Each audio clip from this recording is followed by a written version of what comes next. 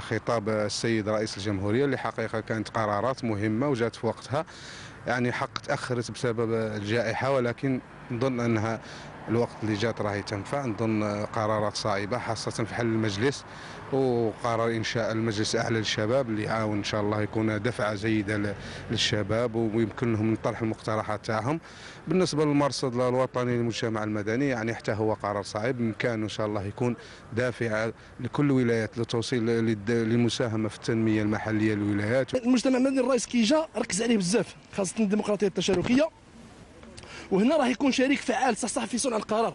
الخطاب يخلق آه، يزيد الثقة اللي بين بين رئيس الجمهورية وبين الشعب آه، القرارات مثلا كما تغيير الحكومة الحكومة شفناها باللي فات في ظروف يعني جد صعيبة ولكن التغيير كان لازم يكون تغيير يعني كنظرة عامة وشاملة. آه، المجلس المجلس الأعلى للشباب. نتمنى أنه يكون مجلس أعلى للشباب صح؟ يعني اللي يكونوا فيه شباب يعني من خير أبناء الوطن. نبارك لهذا القرارات المتمثله في رفع الأجور متمثله في رفع الحد الأدنى للاجور تاع 20000 دينار. إحنا القرارات اللي دارها الرئيس عجبتنا مليح.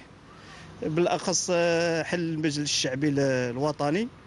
وماذا بينا تكون قرارات جديدة إن شاء الله اللي تخدم البلاد والشبيبه خطاب رئيس الجمهورية اللي مهمل حتى شق آه، وتناول جميع الجوانب. بقبل كان الشباب يحارب باه جاب استقلال تاع البلاد. اليوم لازم الشباب يخدم. استبشرنا خيرا بقرارات السيد رئيس الجمهورية التي انبثقت عن خطابه ليلة أمس والذي كان منتظر منذ عودته من رحلته العلاجية بألمانيا. هذه القرارات التي نحن نثمنها كمنتدى الشباب. كذلك العفو اللي راح يمس آه، كثير من سجناء الرأي. ونظن على اليوم يعني كانوا راهم راهم مع العائلات نتاعهم الناس راهي ثايقة فيه. إن شاء الله يخدم البلاد والجزائر والمواطنين الجزائريين كامل. إحنا ماذا بينا البلاد تسقم وتكون دولة دولة قانون. وعود آه، ماذا بينا تطبق يعني في في الميدان؟